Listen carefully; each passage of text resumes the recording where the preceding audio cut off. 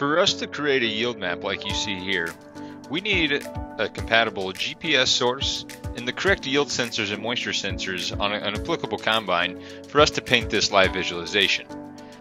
On this one sheeter, you're going to see all the requirements that you need to check to make sure you're FieldView compatible. First, we need to know the combine make, model, and year, what yield sensors it has, or are they installed from the factory, what is your yield monitoring display in the cab, and then what is the GPS source that you would be using for that machine. To run through an example, let's flip over to our support.climate.com and go visit our Knowledge Center. Once in our FieldView Drive compatibility guides, you can go ahead and click on the applicable harvest compatibility guide. You'll want to click on the PDF guide, which will redirect you to pick your manufacturer, make, and model and series to make sure it's FieldView Drive compatible. We can scroll down to the table of contents, and let's go pick an AGCO combine, and let's start with a Fendt Ideal for this example. I can click on the, the manufacturer's make right here.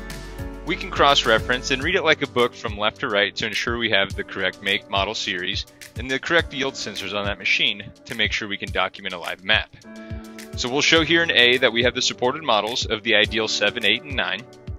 We'll check the box to make sure that we have the correct yield sensors called Ideal Harvest.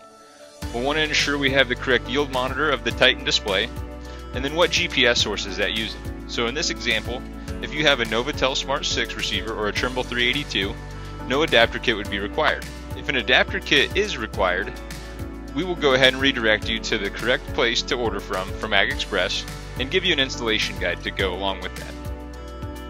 If you need additional support, please reach out to our support team at 888-924-7475 or reach us on support.climate.com.